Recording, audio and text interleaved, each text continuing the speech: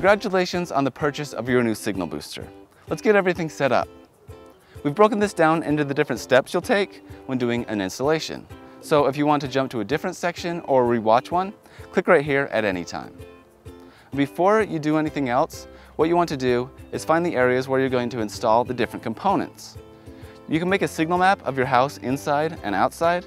This will help you know where the strongest signal is outside of the house and where the weakest signal is inside of the house. You can do this using the bars on your phone, but it's not very accurate. We'd highly recommend putting your phone into test mode for a precise reading. It's really easy to do. On an iPhone, dial star 3001 pound 12345 pound star and then press the call button.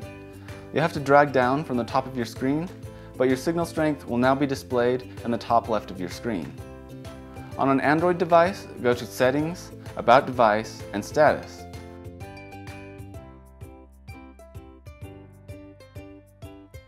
Your signal reading will be displayed right here. The signal strength will always be displayed as a negative number. The closer that number gets to zero, the better it is. For example, a negative 120 is unusable signal, while a negative 40 is about as good as you can get. With your phone in test mode, walk around the outside of your house and find the side of your house that has the strongest signal. You'll want to install the outside antenna on that side of the house. Then come inside the house and walk around and find the area of weakest signal. This is most likely where you're going to want to put the inside antenna. Also consider the coverage area provided by your inside antenna when choosing where to place it. A desktop antenna covers a home office area or a couple rooms, while a panel antenna can easily cover 75 feet or more based on the outside signal strength. Now I mention this because this is important when factoring how much coverage area you'll get inside. The stronger the signal outside of your building, the more we can boost it and the more coverage area you'll get inside.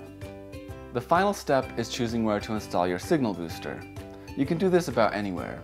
You can hide it behind a piece of furniture or you can install it in a closet, for example.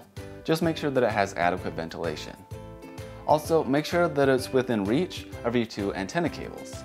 We include plenty of cable, but if the distance between one of your antennas and the booster is too far, you can always connect two lengths of cable together with the supplied barrel connector.